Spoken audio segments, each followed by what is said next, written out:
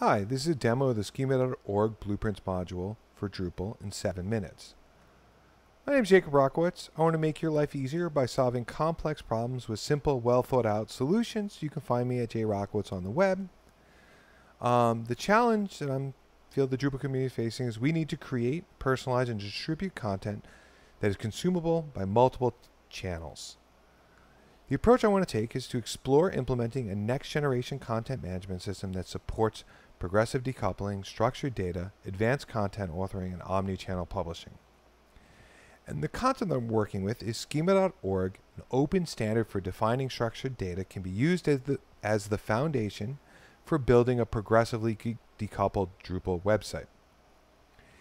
In this demo, I'm going to walk through schema.org, mappings, content authoring, JSON API, LD, and Next.js frontend. I'm going to switch over to a clean install of Drupal that uses the Gin admin theme. I'm going to skip that. And we're going to go over and we have the schema.org blueprint reports module, which brings schema.org into Drupal and lets us browse it. And we can browse it in so much, we can go any way to look at anything, but we're just going to jump to event. And just to illustrate, you can click here and go right to schema.org and look at an event type. But in Drupal, you get the same information with additional references, all configurable and it shows you the properties and the relationships. At the bottom, it even shows you the default properties that you're going to get, what properties will be ignored, and now we want to start using this. So what we can do is go over to the content types. We have the default article and basic page, but we want to add a schema.org type. We click on add schema.org type, and we can add a place. All of this is configurable that you see, but let's start with place.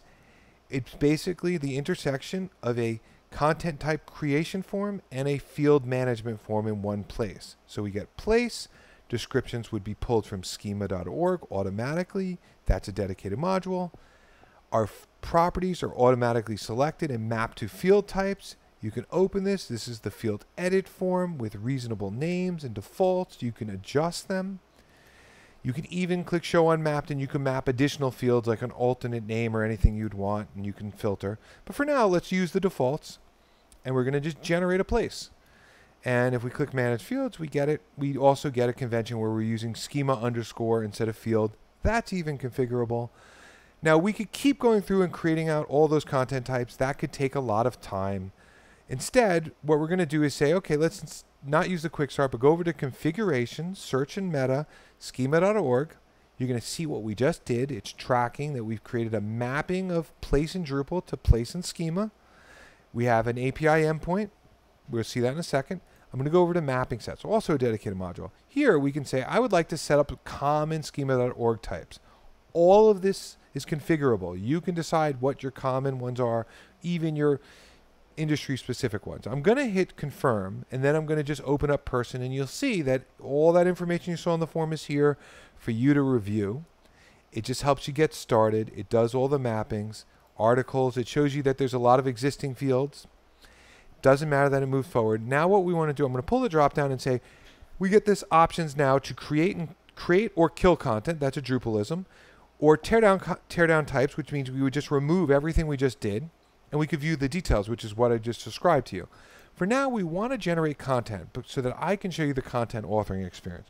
So what's happening is Devel is Devel generated installed. So it's generating content for us. We go over to content, we're going to see some starter content just to see what's going on.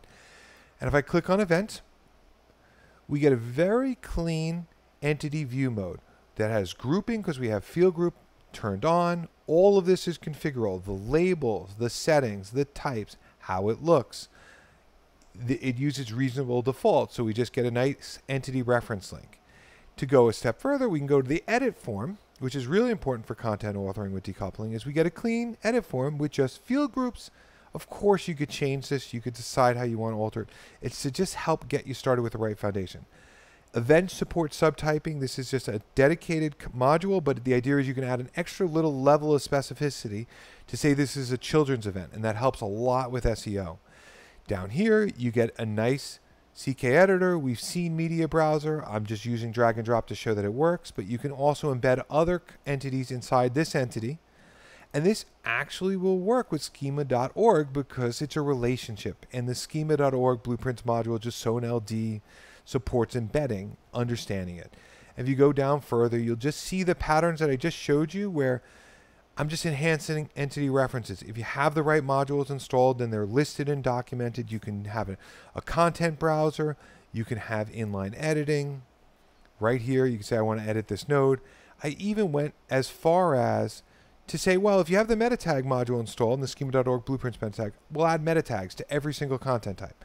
It's a common pattern. So the idea is to start accelerating things, making it easier. So from here, we have good content authoring. So what, what do we get with that? Well, the first thing at the bottom is we get JSON LD. We've got good structured data, and what this data can is it's food for search engines. Search engines read this and they understand your content cleanly. It helps with your SEO, tons of stuff. If we go to address, it takes that address in Drupal and maps it perfectly to schema.org's specification on how you would define an address. You even get validation tools where you can copy this. Now that we've got this great structured data, we just want to note that our APIs become a little more improved. Something I didn't show in the content authoring experience is that schema.org description is available in the node edit form, but then when you get to your API documentation, we go down here and we get our nice clean properties or fields, that also gets a documentation from schema. So we get duration, which is Latin text, that's fine. But you get end date, event status, subtype, start date. You don't get any Drupalisms exposed to your external users. It doesn't use field underscore or schema underscore. It just sets up clean APIs for you out of the box. Now with those clean APIs, you can build a decoupled front end. I want to emphasize why I say progressively decoupled because I do include a view PDF in the demo to say, this is really powerful that Drupal can generate PDFs out of the box. You don't have to build a new system. So when you, I think progressive decoupling is about taking different layers and moving it off into more progressive front ends like Next.js. And here's a preview of everything we saw up here, but rendered using Node.js and React, server side using Next.js with all their amazing optimizations available. And we get this nice clean component. To take it a step further, because we know we're dynamically generating content types, we could start generating components. So if we go to the Next.js component, this is just a tool for front-end devs to get quick templates, starter templates of React components. And I'm actually going over time, but I'll show you a little more and say, it's just a, it just takes the information above and exposes it to the end user. They can download, they can copy the component. There's even a drush command. I'm going to keep going. I don't mind that I went a minute over, and I'll live with it. Schema.org blueprints, it's a foundation. It's a, a, way to build out your site. And I've done all this extra work to kind of point out that we're going to have these layers that we add on top of this clean structured data where we get JSON LD, clean APIs, and ultimately we get this Next.js decoupled front end. And we get this, we start building this great modern user experience. And the benefits that you're seeing, it's standardization. Schema.org is all about standardization. That leads to simplification. You don't have to think about naming things. You're using schema.org.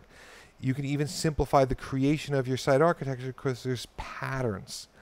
Those patterns lead to massive acceleration. In seven minutes, I've just shown you all the things that capable, but just keep in mind, in one click, I generated an entire information architecture, and I want to reinforce it's completely configurable. I went over. The demo was seven minutes, but I want to say thanks for your time. You can find me at jrockowitz on the web. You can look at the project on Drupal.org. It's project.schema.org. I hope you enjoyed the video.